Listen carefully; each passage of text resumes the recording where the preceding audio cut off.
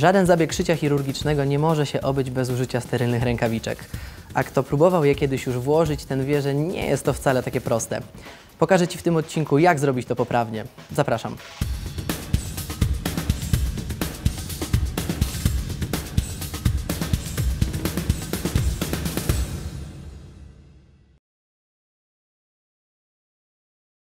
Codziennej praktyce możesz spotkać się z różnymi okolicznościami, w których będzie trzeba założyć sterylne rękawiczki. W tym filmie przedstawię Ci sytuację, gdy żadna asysta nie będzie do Twojej dyspozycji. Aby zwiększyć szanse poprawnego założenia sterylnych rękawiczek, najpierw dowiedz się, jaki rozmiar jest dla Ciebie odpowiedni. Skala jest numeryczna. Im wyższy numer, tym większy rozmiar rękawiczki. Dla małych dłoni sprawdzają się zazwyczaj rozmiary 6, 6,5 czy 7.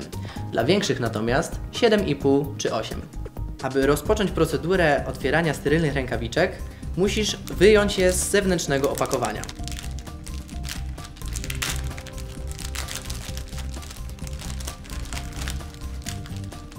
Uważaj, aby podczas otwierania opakowania nie dotknąć jego wewnętrznej zawartości, gdyż jest ona sterylna. Zanim zaczniesz zakładać sterylne rękawiczki, musisz umyć ręce w odpowiedni sposób. Po umyciu rąk wyjmij wewnętrzne opakowanie i otwórz je przed sobą mniej więcej tak jak książkę.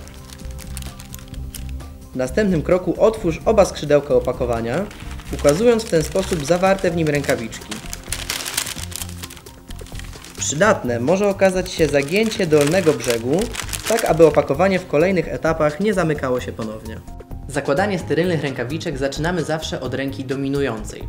Ja w tym przypadku założę rękawiczkę na rękę prawą. W tym celu chwycę prawą rękawiczkę lewą ręką za jak najmniejszą powierzchnię, zakładając, że ręka nigdy nie jest tak sterylna jak rękawiczki.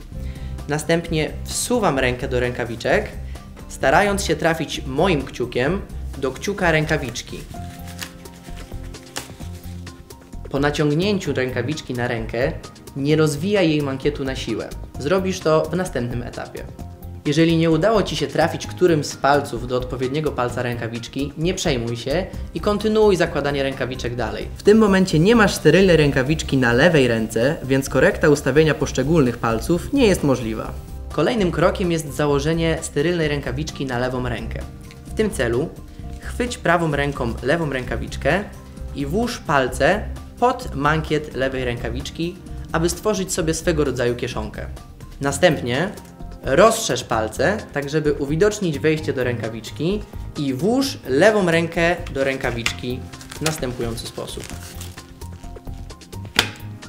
Za pomocą prawej lub lewej ręki rozciągnij mankiety obu rękawiczek, aby przykryć pozostałe odsłonięte części przedramion. Po założeniu obu rękawiczek możesz dotykać tylko pola operacyjnego oraz sterylnych narzędzi i obłożenia. Każdorazowe dotknięcie niesterylnego przedmiotu bądź przerwanie ciągłości rękawiczki wymaga założenia nowej pary. Skoro umiesz wkładać już sterylne rękawiczki, to czas najwyższy nauczyć się znieczulać skórę pacjenta. W następnym odcinku pokażę Ci, jak to zrobić. Do zobaczenia. Spodobał Ci się ten film? Masz ochotę na jeszcze więcej chirurgicznej wiedzy? Zasubskrybuj ten kanał i bądź na bieżąco.